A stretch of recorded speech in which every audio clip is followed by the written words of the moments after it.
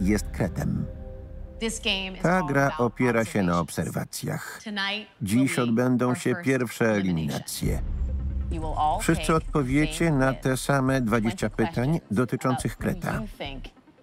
Osoba, która udzieli najwięcej niepoprawnych odpowiedzi, zostanie wyeliminowana i natychmiast wróci do domu. Od tego quizu zależy to, kto z nas zostanie w grze. Jest dosłownie najważniejszym elementem tego programu. To najważniejsza godzina dla waszych zdolności obserwacyjnych. Rozgośćcie się, weźcie prysznic. Widzimy się na kolacji. Trzeba wiedzieć o krecie wszystko. To denerwujące, bo ta przygoda może się dziś skończyć.